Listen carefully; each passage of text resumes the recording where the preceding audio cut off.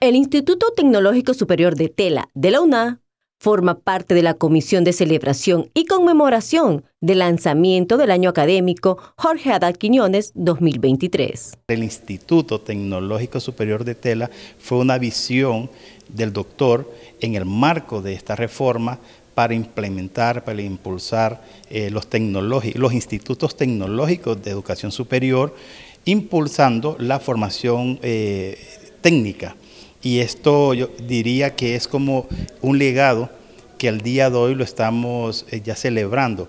Y no solo celebrando, sino que lo estamos viviendo. Hablo por el impacto que ha tenido el Instituto Tecnológico Superior de Tela en esta región del país. Y al mismo tiempo la, la graduación de técnicos, la graduación de diferentes profesionales en áreas pertinentes en la región noratlántica del país.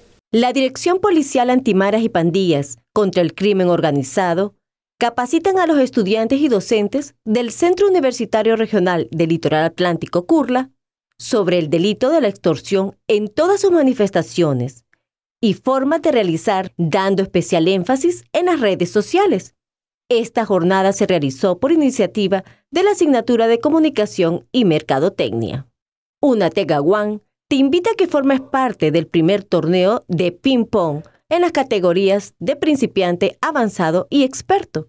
Esta jornada se realizará el próximo 20 de marzo en el marco del Día del Deportista Hondureño. Dania Kirkonel, UTV.